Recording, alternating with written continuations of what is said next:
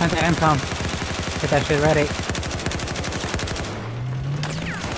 Dude, where are you guys? I already planted that two MCOMs and you guys are nowhere. Shut the hmm. fuck up, dude. I, I shot three people trying to get the MCOM. We got you, man.